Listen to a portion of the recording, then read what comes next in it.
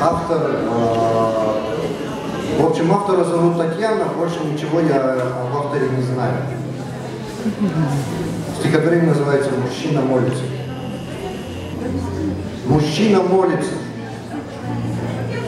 склонившись на колени, доверчиво закрыв глаза, сложивши руки, словно в умилении, опущена в смирении голова, мужчина молится, едва сдержав рыдание, свою печаль, отчаяние и стыд, он как дитя в тревожном ожидании принес к отцу, надеясь, что простит.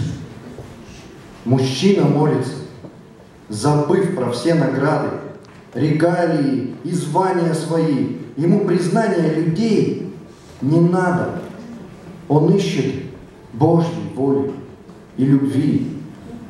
Мужчина молится, и женщина смолкает, оставив страхи и сомнения свои, вдруг осознав, что в жизни побеждает не сила мышц и разума, а сила смирения, кротости и преданной любви. Мужчины молятся, и с ними Божья сила.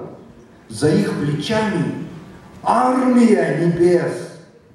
Что может быть надежнее и красивее мужчины Бога?